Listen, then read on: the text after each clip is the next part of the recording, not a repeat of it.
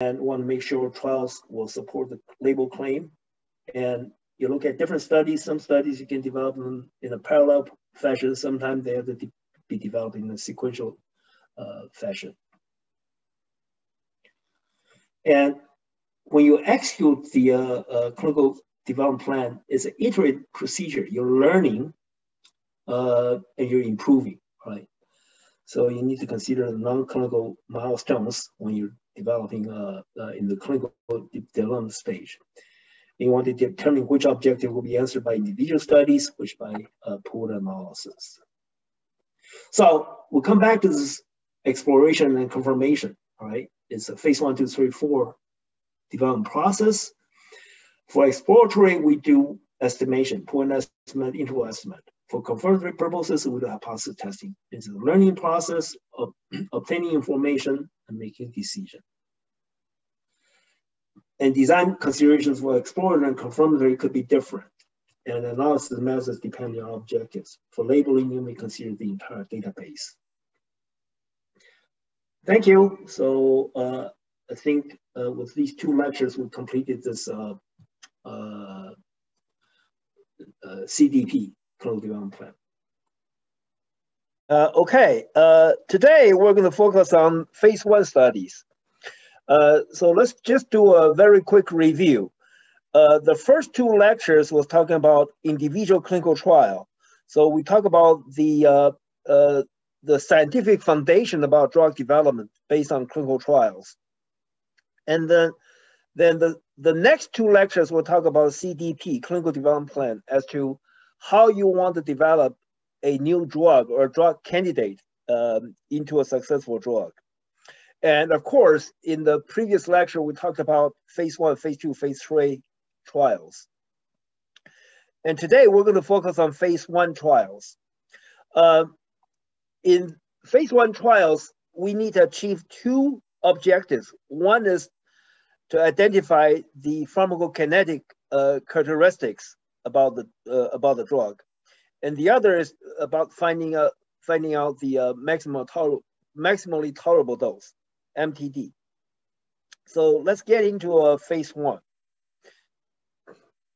Uh, there are many types of phase one study, actually in a way that uh, for some of the clinical trials, if, it, if it's difficult to classify into phase two or phase three, they just uh, put them into phase one. One example will be bioequivalent studies. So we're going to spend some effort just looking at uh, bioequivalent studies later. Now the first, uh, the first phase one study is always a first in human, FIH, all right? First in human uh, there is always a first person uh, test the first dose. What I tried to say is that it's not first 10 people test the first dose. Because if the first person had some uh, adverse events or some uh, severe reactions, you can stop developing the, the whole drug program rather than expose uh, this potential uh, toxic drug to more than one person. So you, you always start with uh, first in person. And then the dose escalation, last time I mentioned something about single rising dose and multiple rising dose. It's about increase the doses so that we can find out the upper limit of the dose range and we call it dose escalation studies. A typical dose escalation study uh, will have a group of subjects that they start with the lowest dose. And then if they don't experience any adverse events, you recruit another group of subjects to, uh, to be exposed to the higher dose. And if there's no adverse events, you keep escalating the doses until you found some adverse events or some issues or some problems, and then you stop. You say, this is the maximum tolerable dose. Now, these kind of study designs are what we call the dose escalation designs. And the dose escalation design always started with the lowest dose. So what does it mean by lowest dose? That's why the preclinical, preclinical studies are important. In preclinical studies, we have to look at toxicology which is to see the toxicity that caused animal problems or animal reactions.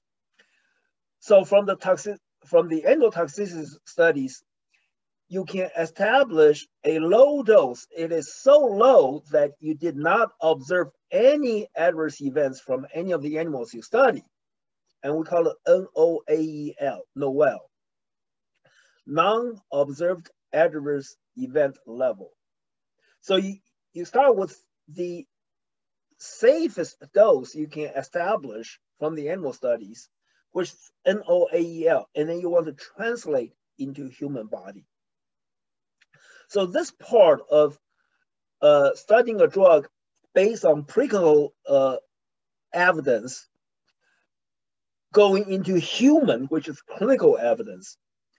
This part is what we call translational medicine. You translate the findings from animal studies into human being. So in this translation of the NOAEL into first in human dose, what you do is that you translate using a milligram per kilogram kind of translation. All right, so uh, you study like in mouse, in rabbit, or in guinea pig, or in whatever animals, and then when you translate in human, you use the body weight, right? Milligram per kilogram.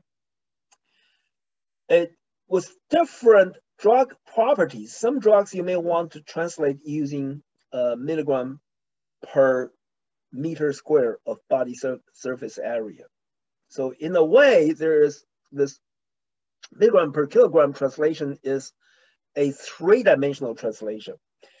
A milligram per meter square is a two-dimensional uh, translation. And of course, you can do 2.5, 2.7 um, dimensional uh, translation, whatever. From the animal studies, you want to translate into human. And that's where you start with the first human dose. That NOAEL, once you translate the human, you also want to multiply by a safety factor like 110 or 120 or something like that. Hopefully that dose is very safe. It's not causing any problem. So you start first in human, and then you slowly escalate to a higher dose to a higher dose until you stop at maximum tolerable dose. So this is about tolerability. And another important objective of phase one is finding about PK/PD pharmacokinetics and pharmacodynamics. So we touched on PK last time, and we're going to get into a lot of depths about pharmacokinetics today in this lecture. Bioequivalence study is a, is a very special kind of study uh, because there's no good place to put it, so we call it phase one, all right? So bioequivalence, and we're going to talk about bio, bioavailability studies. BA or BE. These type of studies, you go to uh, phase one, all right? And single dose, multiple dose, we talked about it. Uh, SRD being single dose, which is each subject is exposed to only a single dose. And if there's no uh, tolerability issues, you escalate. So you got SRD, uh, single rising dose studies, or SAD, single ascending dose studies. Multiple dose, MRD or MAD is you, you use the same dose strengths, but expose the subject for many doses. Maybe you uh, expose the subjects uh, for uh, maybe a week or, or, or longer or something like that to observe any uh, potential um, uh, side effects or adverse events. So these are the single dose or multiple dose studies. And later, when we talk about PK, we're going to look at single dose PK and multiple dose PK could be different. And of course, we'll cover food effect, uh, drug-drug interaction with DDI, uh, and QT or TQT. These kind of studies, they really don't have a place to go. So we just lump everything into phase one. All right, phase one studies has, has to achieve two major objectives. It's uh, characterize the PK profile and finding out about maximum tolerable dose. Right? When I say maximum tolerable dose, sometimes you, the drug is very safe. You keep escalating it, it's still very safe. But you have to stop somewhere because uh, maybe the pill is too big uh, for any anybody to take, or they have to drink too uh, too much water or liquid or something like that. So you have to stop somewhere, and so the highest dose may not be the dose that causes tolerability issues, but maybe a dose beyond that is not feasible. So we call it maximally feasible dose, MFD. All right. So the two major objectives phase one is understanding the PK profile and finding uh, or estimating MTD or MFD. So it's about those uh, dosing frequency and dose range. So phase one studies, you're learning the drug. So this, this drug candidate started from the preclinical uh, discovery stage. Uh, the labs came up with this drug and then eventually going through the preclinical uh, development, you take all kinds of observations, try to understand this drug candidate. Eventually, you move into human being, and before you give it to patients, you want to understand the dosing frequency and dose range throughout the phase one studies. We need to obtain this information to help us design phase two studies. So these two are the most critical information we need to obtain from phase one before we move into phase two. First in human. So always start with single dose, all right? And and then you do a, a, single rising dose or single ascending dose, and then you move into multiple doses. You start with the lowest dose based on preclinical findings. All right, that's where I mentioned about NOEL. You translate NOEL into a human dose and multiply by a safety factor like one tenth or one twentieth or something like that. At this stage, you want to watch for target organ toxicity. Target organ toxicity is what we learned from the animal studies or what we learned from um, other drugs of the same class.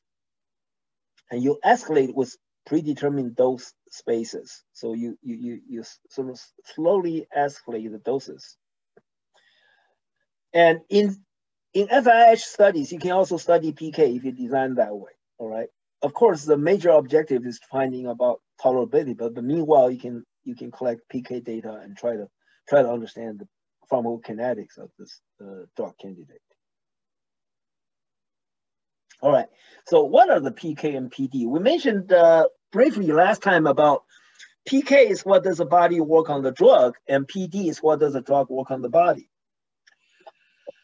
Uh, so we we look at concentration response uses PK, uh, and should we consider PD? All right.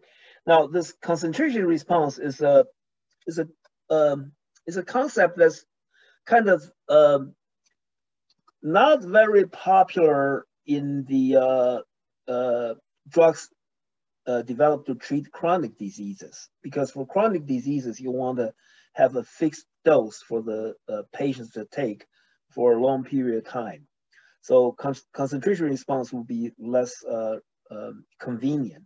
So what does it mean by concentration response? All right, dose response is if you have this dose, now how does the patient respond to it? So that's the kind of uh, pharmacodynamics you're looking for. Now, concentration response is that instead of looking at whatever dose, but you try to give a certain amount of drug to the patient and then you draw the blood and find out the concentration and you adjust the concentration and then dose the patient. So that's concentration response. And that's, that's not very popular for, for chronic diseases. Now, how do we study PK? Uh, the pharmacokinetics, they came up with a bunch of what we call PK parameters, pharmacokinetic parameters, including area on the curve, uh, maximum concentration, time to maximum concentration, half-life, elimination constant, and stuff like that. So we're going to get into more details about these PK parameters. In phase one, PK we're really focusing on ADME, absorption, distribution, metabolism, and excretion. So the drug get into your body. When we take the drug by mouth, orally, all right, when we take this drug uh, that goes through our GI system, right? So your body will have to absorb the drug first, all right? So absorption is the process of uh, substance entering uh, the blood circulation. So you have to go through this absor absorption stage. and then distribution. Once it goes through your blood distribution, uh, blood circulation, it distributes to uh, all over your body. Distribution is a, dispersion or dissemination of substances throughout the fluid and tissues of the body. So, of course, the most uh, uh widely used uh, way of dispersion would be uh, your blood circulation, right? And then it goes through this metabolism stage, is the irrever irreversible trans uh, transformation of parent compound into daughter metabolites. So I mentioned briefly last time about this uh, uh, for chemical structure, the scientists at the lab, when they um, came up with this uh, compound, they probably have this basic chemical structure, and then they want to add up some other structures to make the compound more stable and more um, deliverable. Uh, and they, they want to satisfy all these drug properties like uh, permeability, uh, uh, solubility, all these chemical properties of the drug so that it will get into your body, uh, going into your GI system and all that. But once the drug goes to your system, uh, it goes through the circulation, it will get to your liver, and the liver will try to break down the drug because your liver will recognize this is a foreign body comes to your uh, come coming into your system, and they try to break it down and stuff like that. And by going through that process, the compound is being metabolized, and the pieces that came out being the uh, metabolite, which is a daughter compound. All right. So the parent compound is a compound that part of the drug candidate that goes to your body and then eventually uh, is being broken down into metabolites. And then excretion is the elimination of the substance from your body. In rare cases, some drugs uh, uh, irreversibly accumulate in the tissue uh, in the body where the excretion is very weak. Um, so ideally, you hope the drug will will be out of your body after some time. Okay. And we looked at this picture before. Let's look at this picture again. All right. Uh, so the way we study PK is by uh, looking at the blood concentration. So, or, or, or the, they call it plasma concentration or whatever, is the amount of drug you can measure from your blood or from your plasma. and like I said, at time zero, uh, you have zero concentration. And then when time increases, the amount of drug in the body increases. Of course, for this measurement, you can measure the drug or you can measure the concentration, uh, or you can make uh, measure the um, uh, metabolite. So uh, you, you sort of look at whatever the compound of the metabolites that can be found from your uh, bloodstream. And then, of course, over time, the concentration increase and then decrease. And so the way you look at this curve is how do you study it, right? So for PK study, as we see from here, uh, from a from a statistical point of view, this will be a longitudinal data set right? Over time, you collected data over time. And you try to describe, you try to understand this longitudinal data set. And in the PK analysis, the way they try to understand this longitudinal data is that the best way to do it, according to the pharm pharmacokineticists, is that you try to simplify each of this curve into one value. All right, so how do you simplify it? You can do an area on the curve, which is you, you, you measure all of these, and up to this point in time, you, you sort of calculate this area from time zero to this time point, and from say time one, time two, time three, time four, time five, and so on and so forth. And then you can calculate this area, so they call it area on the curve. Cmax is the maximum concentration. So for this data set, the Cmax is right here. Or Tmax, Tmax is time at the maximum concentration, this time point being Tmax. And KEL, KEL being an elimination constant. So in other words, what the uh, pharmacokinetics believe is that the curve, this time concentration curve, will go through your body eventually in a um, in a, a log relationship. So what you can do is that if you if you if you look at all these observations over time, and then you take a log, and they believe as a, at a certain point in time, from that point on, the relationship of these observations to time would be a log relationship. So you take log of uh, these observations against time, you can do a linear regression, all right? So based on the linear regression, you can calculate this, uh, this slope and you consider that slope being an elimination constant and they call it KEL. And the important part of it is that based on this, they can find out something they call half-life.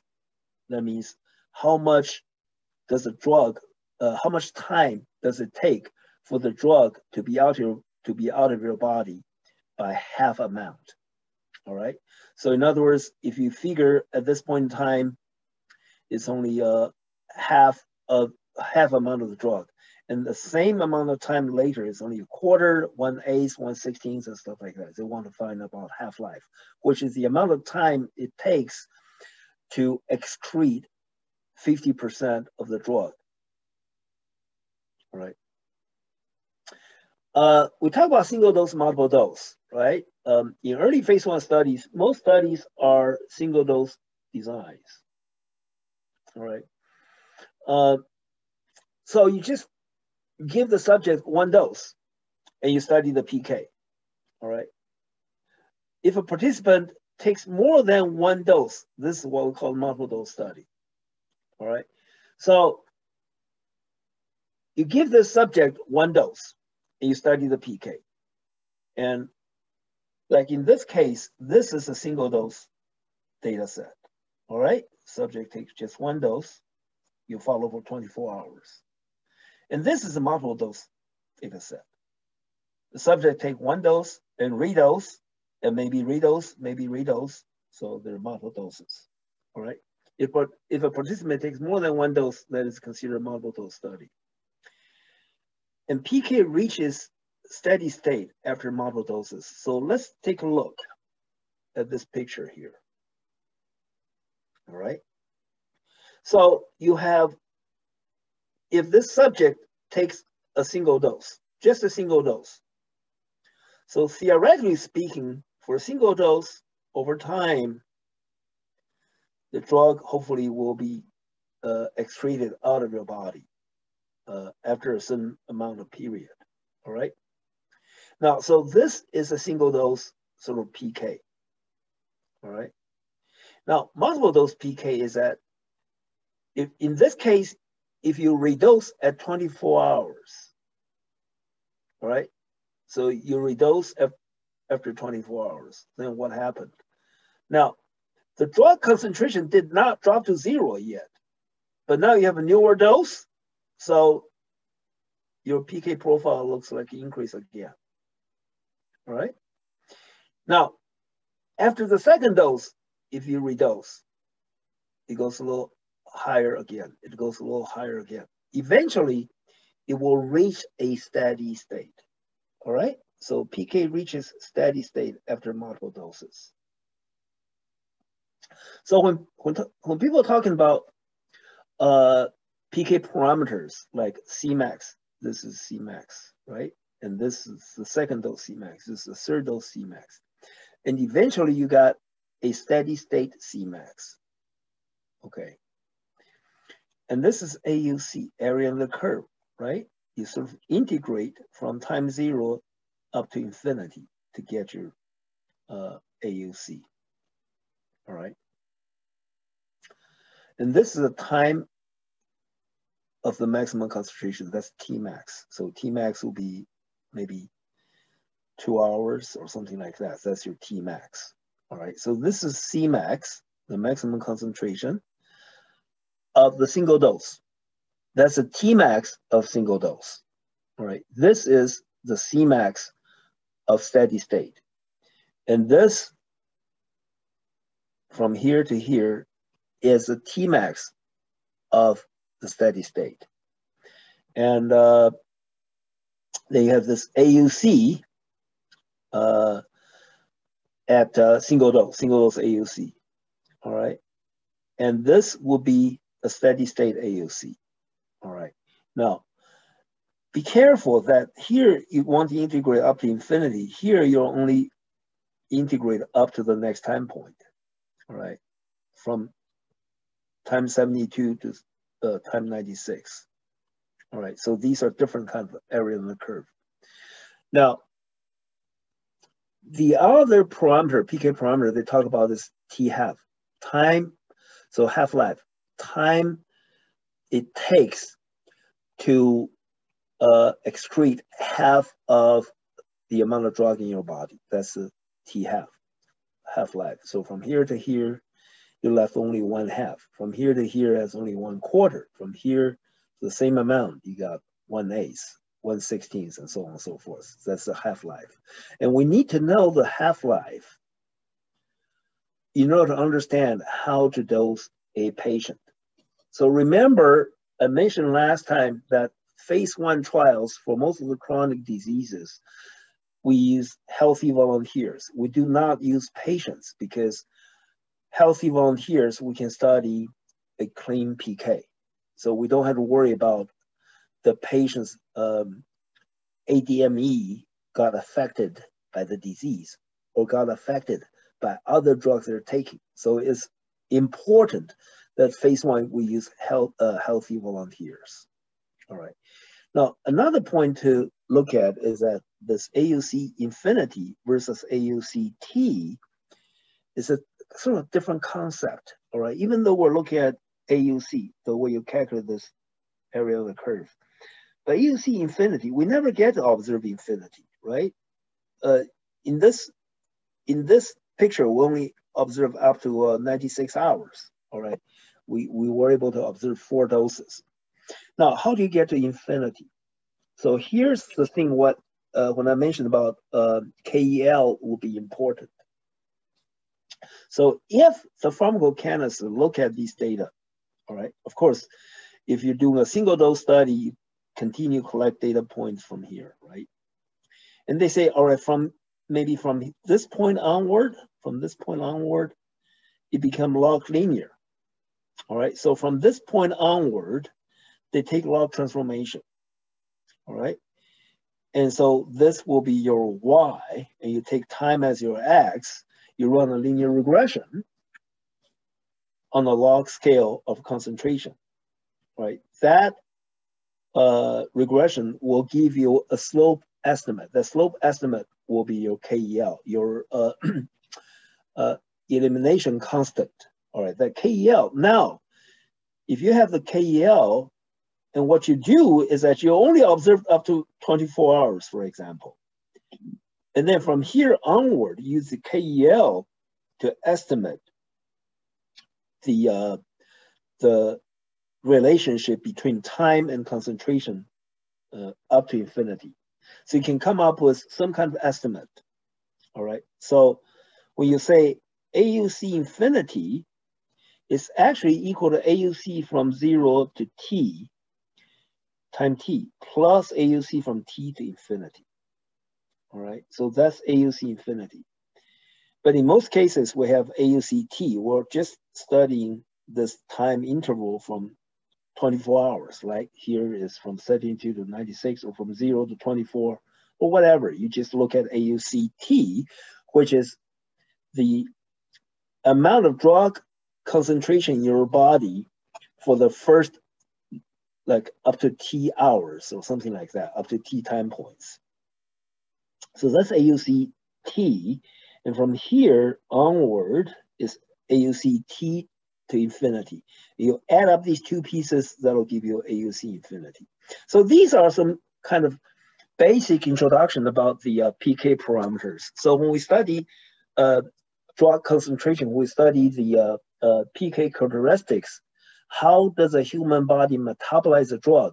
You look at these parameters. You look at Cmax, Tmax, AUC, T-half, KEL, and some other PK parameters. So for each subject, we were able to observe these kind of PK parameters. And when you perform statistical analysis, you look at like mean AUC, mean Tmax, mean Cmax. Uh, that's how you perform statistical analysis. Because these data points, although being longitudinal, but the pharmacokinetics will simplify it into one number, a single number, either AUC or Cmax or, or, or T-half. They, they reduce it to a single dimensional um, value.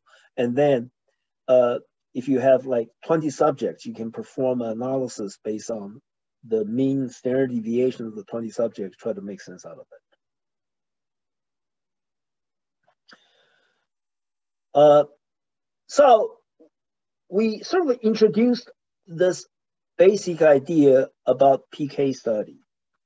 Uh, again, I want to come back and review the point that in PK or in phase one, for most cases, we're looking at healthy uh, normal volunteers. We're not looking at patients. So because from the healthy volunteers, we can have a more uh, kind of pure uh, PK profile so that the, these PK profiles are not affected by the disease or not affected by the drug patients take to control that disease. So this way we'll have a clean PK.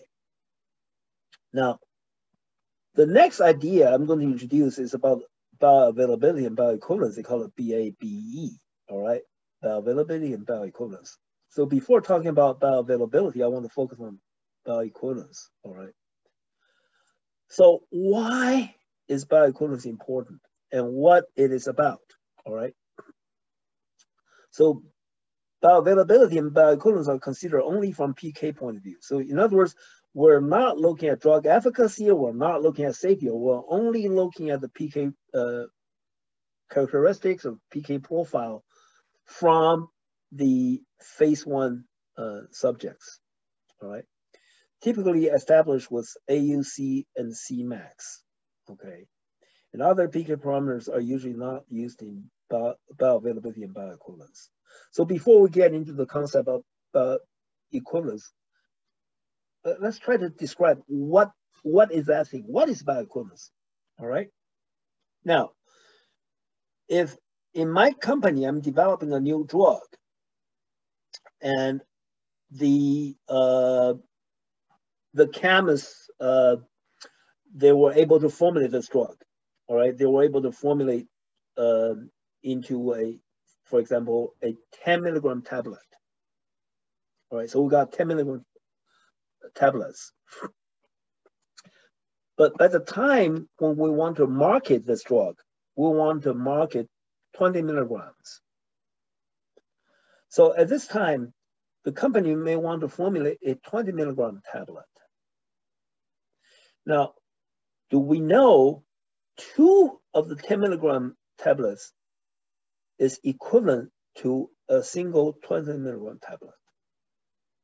All right, intuitively we intuitively we think that should be the case, right? But how can we prove that? All right, if you look at these pictures, the 10 milligram uh, time concentration profile may look like this. The 20 milligram may look at look like that, right? Now, what does it mean by a 20 milligram PK equals two of the 10 milligram PK. All right, how do we know that? So what you do is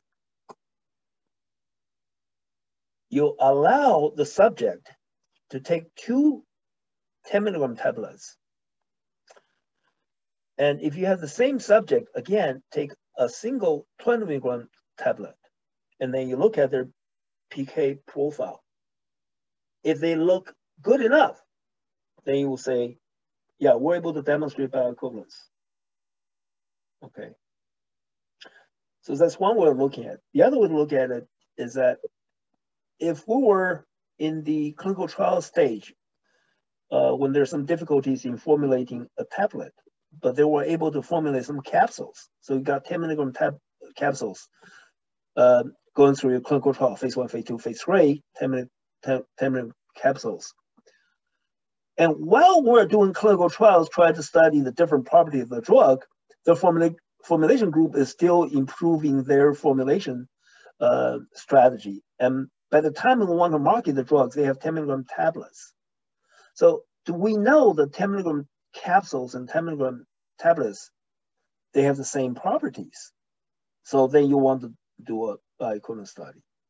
All right. So of course, from a uh, from a company discovering, developing new drugs, these are the bioequivalents that we're looking at. But it's more critically for generic companies. All right. As we know, the new drugs are patented, and each patent is 20 years. So 20 years from the day you're applying for the patent. So we came up with a new drug, and after 20 years, the drug is off patent. And now what? Generic companies, they can make generic drugs, right? So they want to make a generic copy of our drug. Now, the generic company will have to apply for FDA approval to say we can have this generic drug uh, marketed to replace this brand name drug. All right.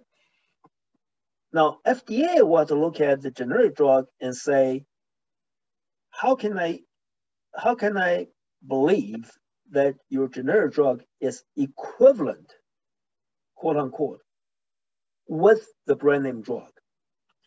And then FDA have to look at the bioequivalent study. So at this stage, the generic company will have to demonstrate about equivalence to FDA. Now that's why bioequivalence become a very critical property for that generic drug, right? Because generic companies, the, the reason they want to make generic copy of this uh, new drug is because they can make it in a, in a cheaper way, right? They can lower the cost, they can lower the price so that they can be more competitive than the brand name drug. In that way, it is not fair to ask the generic company to redo phase one, phase two, phase three studies because we know phase three studies are very expensive. And even for major companies, like right now I'm working for Boehringer Ingelheim, I used to work for Pfizer. And you look at other big companies, Eli Lilly, uh, Bristol Myers Squibb, all these big companies, they have to invest a lot of money to come up with a new drug. Now for generic drug, you ask them to go through all the phase one, phase two, phase three trials, and they say, well, I may as well forget it, uh, forget about it. No need to uh, to to make a generic drug because so so expensive. So FDA will come up with this way of using bioequivalence for the approval of generic drugs. All right. So bioequivalence introduces a fundamental difficulty from a statistical point of view because statistical hypothesis says, the null hypothesis says the two formulations are the same. And the alternative hypothesis says they're different. So what we do with this, all right, we have a reference formulation or, test formulation reference formulation. So we have a we have distribution on the test formulation, and we have another distribution on the reference formulation. If I increase sample size, I can separate these two, right? We know the two populations are never the same, right? The test formulation, so I have a population taking the uh, test formulation, the, the generic copy of, of the, the drug. And I have another group of subjects are taking the uh, uh, brand name drug. And if I measure their concentrations, then these two concentrations when you increase sample size, they're never the same. You know, two two distributions, you can by increase sample size, you can always separate them.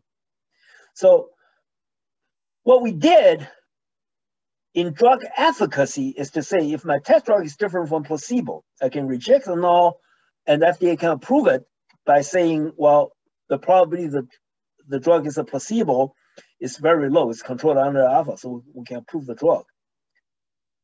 But bioequivalence is different. All right, bioequivalence, your null hypothesis being they're different and you try to show their equivalent. All right. So in the typical hypothesis testing, you reject null if you observe p-value is less than alpha. And statistically speaking, two distributions are never the same. As sample size increase, the two distributions separate, and we can power the study using alpha and beta. However, there's a concept of equivalence in real life. We buy things and hope the value of our dollar is equivalent to the value of the things we purchase. For FDA, they're to approve or reject generic drug that is claimed to be equivalent to the brand name drug. So how can you approve a generic drug when they claim they're equivalent to the brand name drug? All right. If we need to prove equivalence, we switch the null and alternative hypothesis from above. By increasing sample size, it works against the alternative hypothesis. In other words, if you look at this, all right, if we switch these two uh, hypotheses, so our null being they're different, our alternative being their equivalent, and what you do is that if I increase sample size, they look similar right? If I increase sample size, they always look different. So that becomes a statistical dilemma. So how do you test the hypothesis the other way around? To say my null hypothesis being mu1 not equal to mu2, and I want to prove the alternative hypothesis of mu1 equal to mu2. So how to do that? FDA need to make a decision, all right? So the 1992 uh, bioequivalence guidance, the 1992 bioequivalence guidance is called ABE, average bioequivalence. So here's what they do, all right? Bioequivalence can be evaluated based on average bioequivalence. And here's their rule. Their rule is 90% confidence interval on the ratio of geometric mean of two formulations is contained within the limits of 0.8 to 1.25. Let's try to understand this, okay? The pharmacokineticist believes that the drug concentration data follows log normal distribution. All right. So if we're looking at mu1 minus mu2, all right, mu1 being the uh, test formulation, mu2 being the reference formulation, all right, mu1 minus mu2. Now, if you take log transformation before you take the mu1 minus mu2. Then uh, the mu1 minus mu2 becomes a geometric mean ratio, right? So if you look at x being your raw data, and you say y being log of x, now, if you look at mean of y, the y bar, all right, y bar being sum of y divided by n, or being the multiplication of the all the x's and taking n's root and log it. All right. Now, when you multiply all the x's and take the nth root, that's that's your geometric mean, right? When we look at y1 bar minus y2 bar, that's essentially the log of geometric mean one over geometric mean two, which is geometric mean ratio. Now, if the two formulations are equivalent, then that ratio should be equal to one. And here's the FDA requirement. All right, the 1992 ABE guidance says, if you look at if you look at the geometric mean ratio, so I have a sample size of maybe 10 or 20 or something like that. So I got say 20. All right, I got 20, 20 subjects on the uh, test formulation, 20, 20 subjects on the um, reference formulation. And if I look at the geometric mean ratio of AUC, right, test formulation over reference formulation, geometric mean ratio, they should be equal to one, right? Now I got uh, observed value, of course, um, because randomness in the it's not likely to ob uh, observe something exactly one. You're going to observe something maybe 0.99 or 1.01 or something like that. And then you do a confidence interval on the findings. If that confidence interval, the 90% confidence interval, is between 0.8 and 1.25, the FDA says, okay, you're able to demonstrate equivalence. So that's the guts of this ABE uh, uh, guidance. All right, let, let, let's take a look at this graph here, all right? If you want to show superiority, which is null hypothesis being uh, the test formulation and the reference formulation the same, all right, alternative hypothesis being they're different. Now, for bioequivalence, you're looking at the different thing. Your null hypothesis being they're not equivalent, alternative hypothesis being they're equivalent. So if you come up with this 0.8, 1.25, right? 0.8 and 1.25, you take log transformation of 0.8, that'll be a negative value. You take log transformation of 1.25, that will be a positive value. And this is your zero right here, okay? Now you're looking at the mean differences on the log scale. So generic drug A is different from the brand drug because not only the point estimate is lower than the uh, than the reference formulation, but also the confidence interval is outside of these two limits, right? And of course, B is not bioequivalent. It's interesting to look at C, right? C give you a bioequivalence, right? But the problem is the interval width is too wide. So with FDA guidance, that encourage the generic company to increase sample size because when you observe this, if your sample size is large enough, your interval width is going to be narrow enough that will put you back in between minus delta and delta. Okay, and of course, for uh, generic drug D is bioequivalent. All right, no problem. I mean, the uh, lower limit is greater than one point, uh, greater than 0.8, and upper limit is less than 1.25. Of course, you take log, log transformation. So that's bioequivalent, that's fine.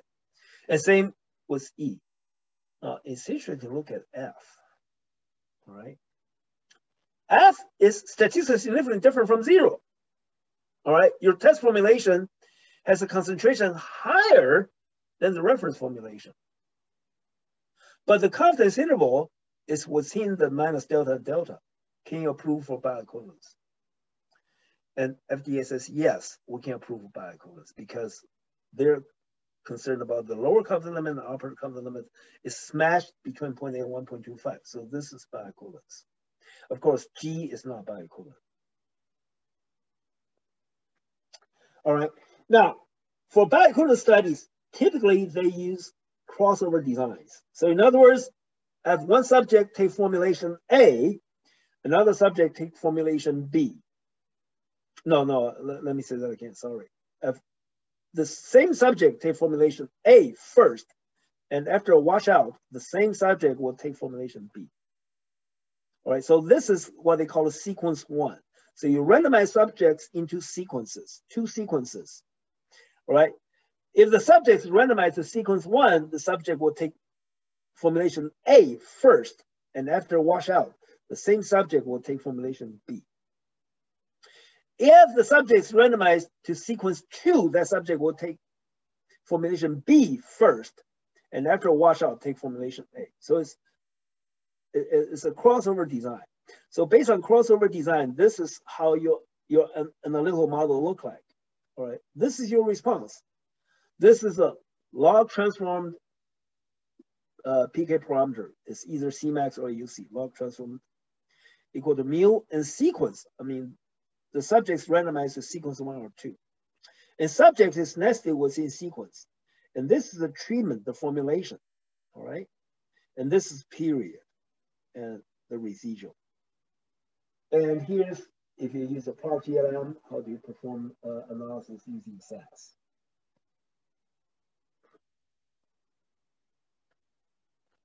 So we're looking at hypothesis testing, right? But FDA is using confidence interval.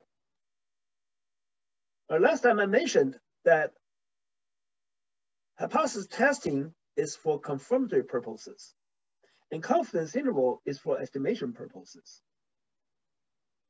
Fundamentally, these two practices are different. Exploratory questions and the confirmatory questions are totally different. Exploratory questions, we're learning, we're trying to understand.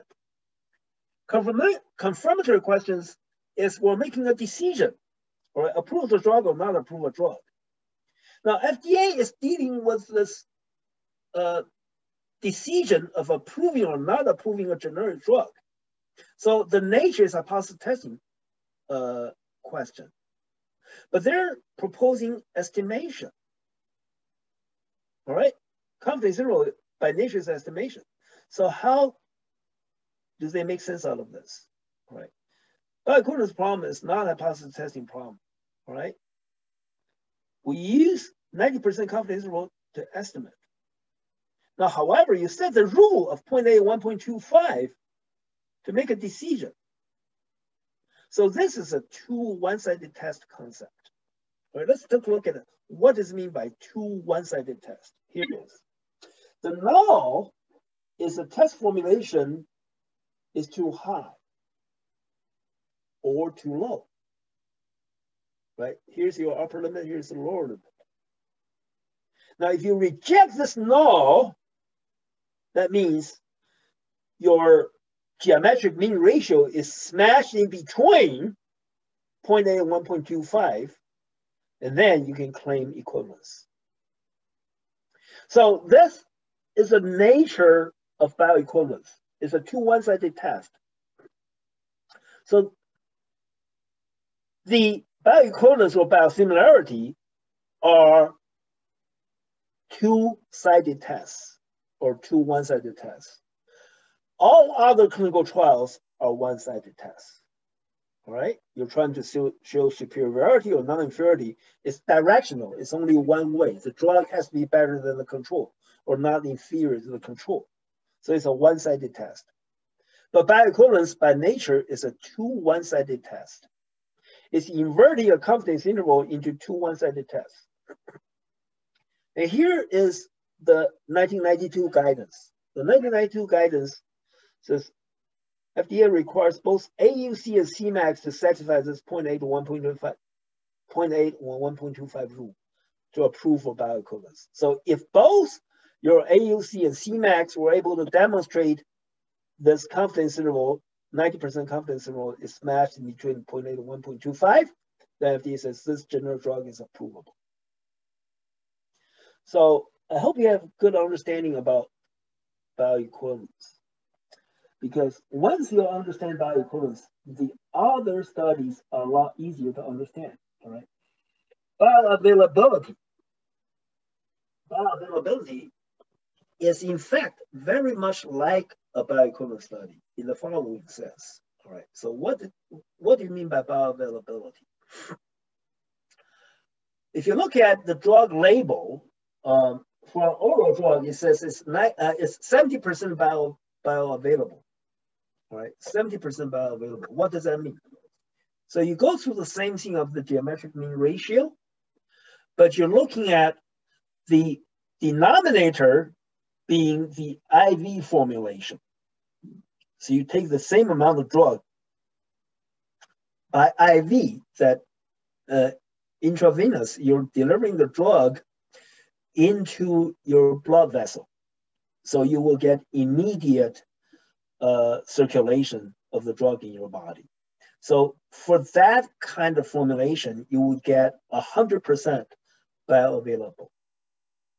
Now, if you take the oral drug and you look at the PK, uh, the, the PK parameters, and if it's 70% to the IV formulation, then that says is 70% bioavailable.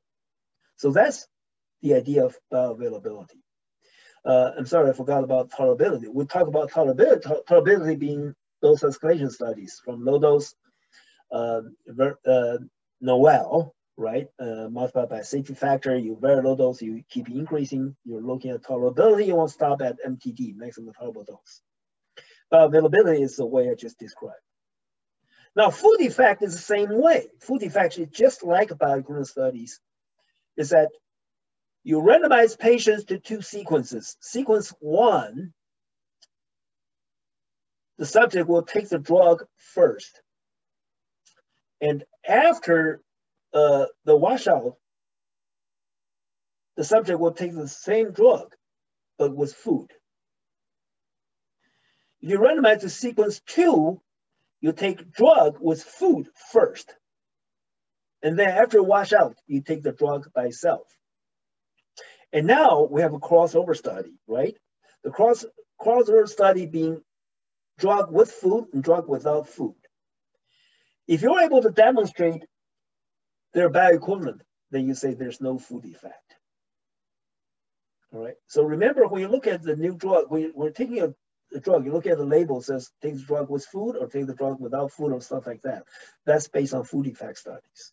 And of course, you can do with food or without food. And you can do with food, uh, uh, with low fat food or high fat food, with uh, uh low protein food, high protein food. You can do all this kind of stuff to look at how does a PK change with food. If there's no change, then you say there's no food effect. And of course, you can do DDI, drug-drug interaction, is that you randomize patients to to sequence one and sequence two. If you're in sequence one, you take drug by itself first. And after the washout, take the drug plus another drug. And then you look at the PK of the study drug. And the same thing, if you randomize to sequence two, you take this drug with another drug. And after a washout, you take just the study drug itself. And you look at if for this particular drug, you want to see if it's interacting with your study drug, you do a DDI and you were able to demonstrate bioequivalence, then you say there's no DDI. If there's not bioequivalence, then you say your study drug could be interacted with the other, this other drug. So once you understand bioequivalence, you can understand bioavailability, food effect, DDI. The last thing will be uh, QT. So we're gonna um, take a look at, uh, all right. Now, bioavailability is expressed in PK parameters and typically in terms of uh, percentages uh, of uh, uh, percentage of IV formulation, many study for oral delivered drugs. And food effect and DDI are the same thing, right? So we talk about this. Now, I want to look at some, something about QT. Right? Now, this is uh, EKG or ECG, electrocardiogram. Right. So EKG or ECG is considered a safety parameter, all right? Uh, this happened uh, in late 90s. Before late 90s, uh, ECG is not a standard safety parameter. After the 90s, there were some events, so you come up with ECG as a safety parameter. So how, how do you study safety? Now, here is a electrocardiogram for one heartbeat. Right? If you look at the uh, ECG wave, uh, it looks like this. And It breaks down into a P wave, a Q wave, a R wave, a S wave, and T wave. All right. Now the concern is that they don't want the QT to be too long, from Q to T. They don't want QT to be too long. All right. If the QT is too long, that will cause a problem they call torsade, which is a form of arrhythmia. That means your heart rate is not regulated. All right. So, so you want to do a study to understand whether your drug would cause a QT prolongation or not. So how do they how do how do they study this? So they want to look at QT and they want to look at an adjustment because some people has a faster heart rate, then that means the uh, entire wave is shorter. And some people would have a, a, a slow heart rate, so that means this whole wave is very long. I mean, these are measured in terms of milliseconds, all right? So you need to make some adjustment. So they do a QT divided by square root of R, R. You from R to another R is one heartbeat. So that's what they call QTC. QT being corrected by heart rate. All right. Now, If you look at the total QT study, they call TQT. Somebody called it thorough QT study, same TQT. Right? ECG is considered as a safety variable, and the main concern is QT prolongation, and QTC is a corrected QT. And TQT uh, is designed with matching time points. Look at ICH E14. So let me describe, so that's your ECG curve, right? Uh, let me describe uh, one kind of uh, TQT study design. This will be a 48 hour study. So the subjects or the participant will carry a Holter monitor. So you carry this monitor at specific, uh, a pre-specified time, this monitor will do the QT for you, will carry the QT. Or look at your heart rate, look at the uh, uh, ECG curve. So the 48 hour study start, start like that. If we say 8 o'clock in the morning of day zero, for example, uh, the subject will carry this Holter monitor. So at 8 o'clock, uh, it will measure your uh, ECG and calculate the QT or QTC. All right. At 8.20, it'll calculate another QT. Uh, 8.40, 9 o'clock, 9, uh, 9.20, 9.40 until 7.40 the next day, day one. So this day zero, the subject is not on any drug, all right? And you got a 24-hour uh, QT profile. And between uh, 7.40 and 8 o'clock the next day, in day one, the subject's dosed with a study drug. And then 8 o'clock, there's a Q, uh, uh, ECG, you do the QT 820, 840, 9 o'clock until 750 of day two. So you got a 48 hour kind of ECG. And you do a time match. you look at the uh, day one, 8 a.m. QTC minus day zero, 8 a.m. QTC. And you do the 820, 840, you do this 24 hour sort of uh, QTC difference. You can find the maximum difference for that subject. So if you, you have 20 subjects going through this study, you look at the maximum of these difference. Every subject give you a maximum. The mean cannot exceed five milliseconds. And the confidence rule, the upper limit of confidence rule cannot exceed 10 milliseconds. If your drug were able to demonstrate this successfully, you say, all right, we don't have a QT problem. So this is pretty much I want to cover about phase one. Thank you.